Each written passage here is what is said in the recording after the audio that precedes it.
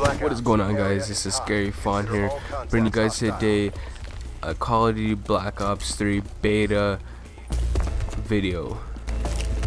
Um, now last video I showed you guys the Razorback gameplay and that that gun was amazing but today we're talking about or we're gonna be looking at the gun the Vesper the Vesper is crazy uh, I'm sorry for that what I did right there I almost shot my teammate think I wasn't hardcore or I would have killed him. Well that's not the point. The point is that the Vesper is the best gun if you are looking for fire rate. It is really really high in fire rate like more than like any other submachine gun that is out there.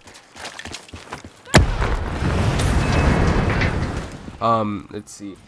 The Vesper has 7 damage um 4 range 18 fire rate and 5 accuracy. And it is still a beast. I mean guaranteed at least a bunch of kills.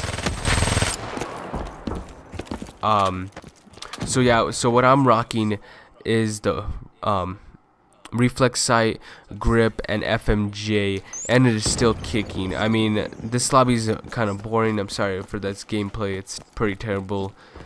Um we didn't know where everyone was because they were just camping up in their spawn and everything like that. See, just camping inside like their little building.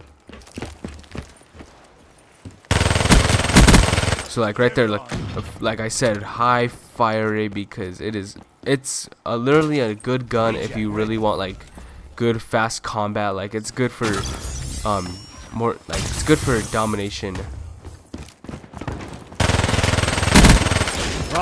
And then especially have high sensitivity on, you're able to do like some pretty dope 360s with that, like I just did right there.